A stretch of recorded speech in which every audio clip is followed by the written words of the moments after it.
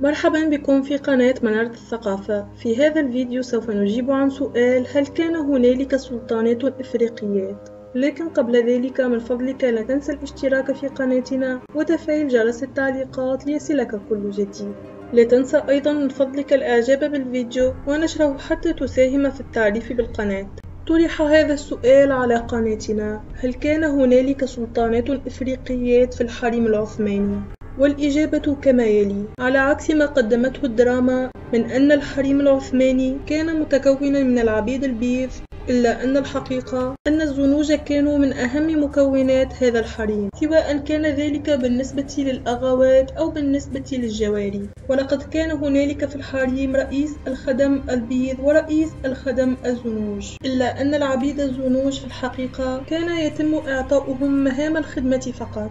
فلم يكونوا يتخيرون لغرفة السلطان سوى الجاريات البيض وليس هذا فقط بل لا تصل إلى غرفة السلطان سوى من كانت تتمتع بجمال نادر.